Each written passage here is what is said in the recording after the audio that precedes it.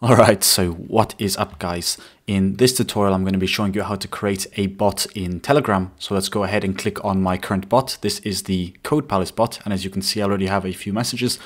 But if you type something such as hello and click on send, the bot will respond with a certain phrase. And if we ask for the time, it will give us the time and the date. But of course, if we write something random that the robot does not understand, it's going to tell us that it doesn't really know what we're saying. And these are all pre-made responses, so you can substitute this with your own machine learning or any custom phrase that you want. I'll show you how to do that later. And also, if you go to the icon, you can add your own custom photo and it will have a description and all of this good stuff. So that's what we will be making in this tutorial. So to get started, you're going to want to go ahead and open your Telegram app and click on the search bar because inside here, we need to search for the bot father. So just try to find this.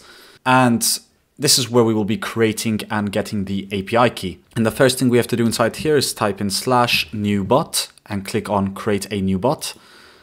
And it's going to ask us what would we like to call it. And we'll just call it sample bot. And then we have to assign it a username and the username must end with the word bot. So we can call this ABC123 ABC bot and click on send. And it will say, congratulations, your bot has been created and it's going to give you this user token. So you're going to have to make sure to copy this because this will be your API key. But uh, before we move on from here, we're going to ask for slash help and click on send so we can see what other commands we have. And I'm not going to go over all of that right now, but as you can see, there is an option to set the userpic and set the about text and set the description. So if you want to do that, just click on those links and they will give you very clear instructions on how to change it. For example, if you want to set the about text, it's going to say choose a bot that you want to set it for. We'll set it for the new bot, ABC bot. And we'll say, I am ABC bot and click on send. And it will say success. The about section has successfully been updated. So you can go ahead and do the same thing for the other fields, such as the profile image, and that will be that. But let's scroll up again and copy the key that we just created. So make sure to copy that. As you can see, it has been copied. And then we have to go ahead and create a new Python project. So as you can see, we have a main.py file, but uh, we're not going to use this yet because we're going to create another file. And this one's just going to be for the constants. So we're going to call it constants. And inside here, we can type in API underscore key. And we're just going to create a pair of apostrophes and insert our API key there. And this is just going to be to keep things simple for later in case we need to use this API key again. Then we're going to create another PY file, and this is going to be used to handle the responses. So we'll just call this responses. And inside here, the first thing we want to do is import from date time. We want to import the date time. And then we're going to create a function that is going to be called sample underscore responses. And it needs an input text because that will be used to create a message or to create a response. And the user message is going to equal the string of the input text. And we want this to be lowercase since Python will recognize a uppercase letter and a lowercase letter as two completely different letters. So it's important we make sure that the user doesn't have to worry about capitalizing their words correctly. Then down here, we're going to type if the user message is in, let's pretend they say hello, or they say hi, or they say sup, for example. If the user message we write has these words inside it, then we are just going to go ahead and return, hey, how's it going? And that will take care of our first response. Then we can go ahead and copy this and create another response, such as who are you? And who are you with a question mark. And let's just cancel this last one because that will be enough for the example. And we will write I am ABC bot and that's all it will respond. Now let's create a function that gives the user the time in case the user wants to ask for the time. So if user message is in time or time with a question mark, then we will get the local time, which is going to be datetime.now.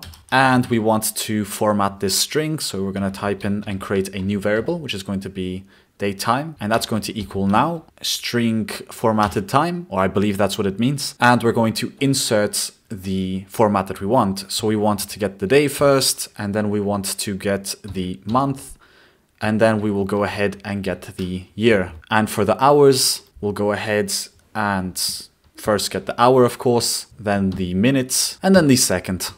So this will format the time for us to a readable format. And we can go ahead and return the string of date time. And finally, if none of these messages were recognized by the bot, we want to return a message that shows that it did not understand what we said. So I don't understand you or something along those lines. And of course, these are sample responses that you can change with whatever logic you want. This is just to show you that you can insert any string as a response and eventually you can hook this up to machine learning if you know how to do that. But for the purposes of this video, I think it's very straightforward and very easy to implement, so we'll stick with this. And finally, we can go to our main.py file. And before we continue, let's go to our terminal and we need to call pip install python dash telegram dash bot. And then we can close that once it has successfully installed. The next thing we have to do is import our constants as keys and then we're going to get from telegram dot extensions we will import everything to keep things simple and then we should also import the responses as R then the first thing I want to do is print that our program has started so we can say bot started. And then under that, we're going to create a start command because we can also create commands for a robot in case you want to do slash help or slash start. It will have some helpful text for your bot. So we'll just write this and we need to insert an update and the context. So inside here, we need to type in update dot message dot reply underscore text. And inside we have to type type something random to get started with an exclamation mark. Then we can just copy this and paste it right under, but this time we will call it help command. And we will write if you need help, you should ask for it on Google exclamation mark. Next, let's go ahead and create a function that handles the messages and gives the user a reply.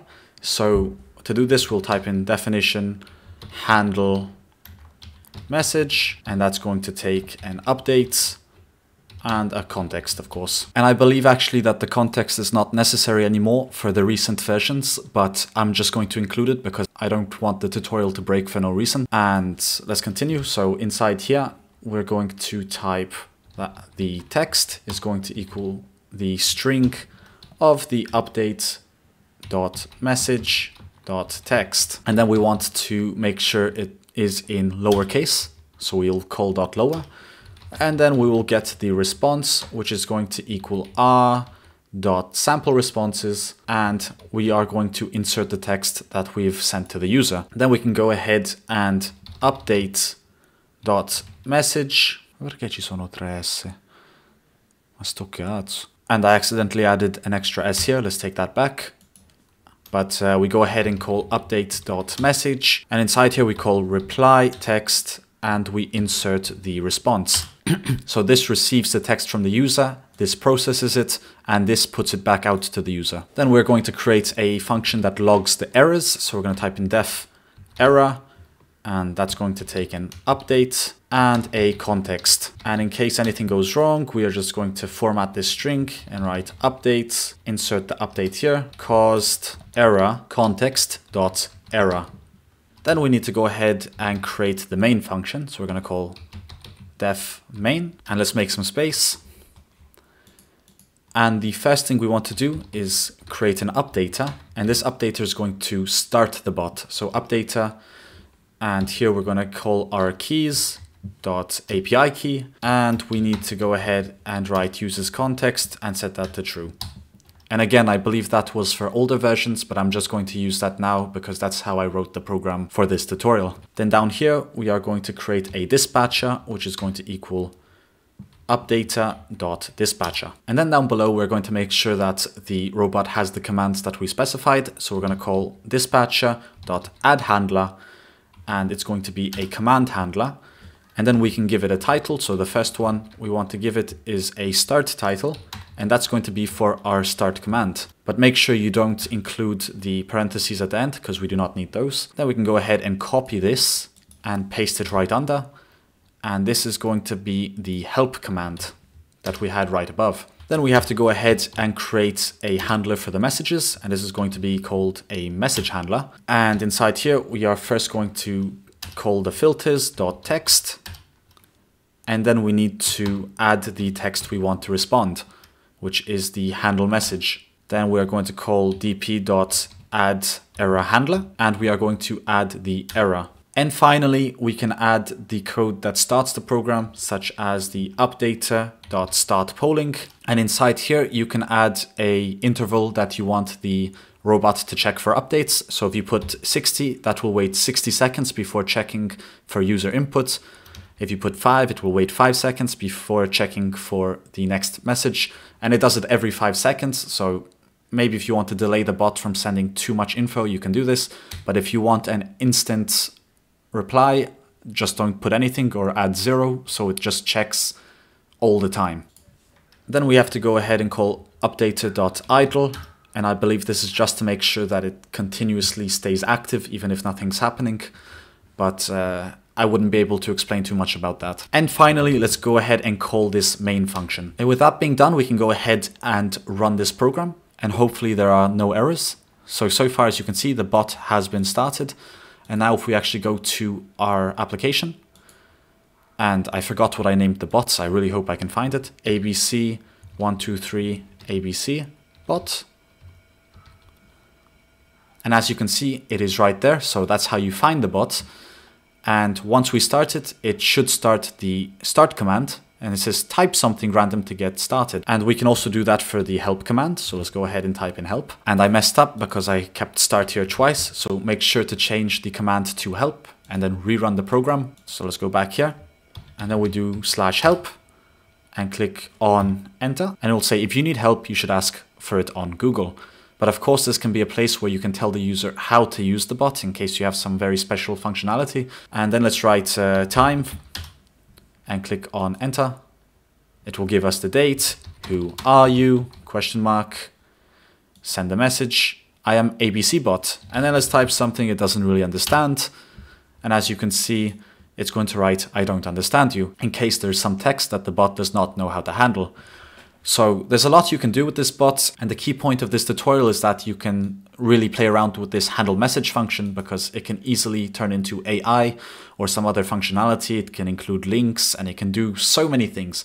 But uh, I believe this was a very easy introduction to how to use the Telegram bot. And if you have any questions, you're more than welcome to leave it in the comment section below. And with that being said, thanks for watching as always, and I'll see you guys in the next video. See you.